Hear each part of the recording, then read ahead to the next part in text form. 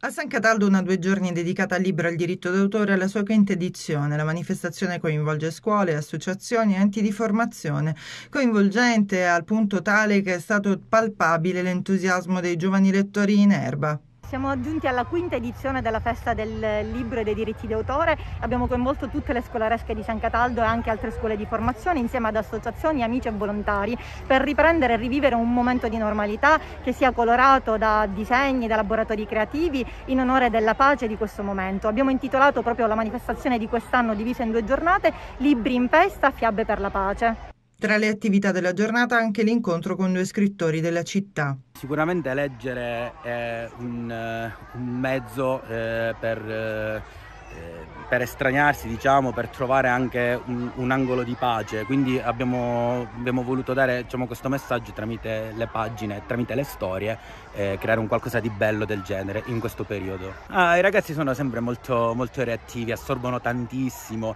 e sicuramente dare messaggi del genere li farà crescere, eh, spero, meno belligeranti. Dai laboratori creativi alle esposizioni degli elaborati, tutto si è poi concluso con il lancio dei palloncini dei desideri.